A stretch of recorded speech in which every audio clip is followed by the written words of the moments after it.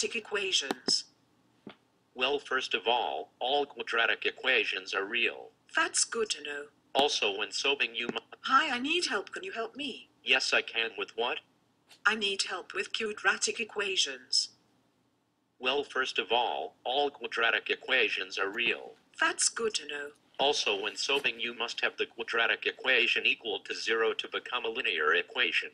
The formula you would use is x squared plus bx plus c is equal to zero. Okay, how about if I wanted to find what is? You would use the formula x is equal to negative b over 2a. Can I use that formula when trying to solve? Yes, you can. Do you need help with anything else? No, no, thank you. I've asked everything I needed help with.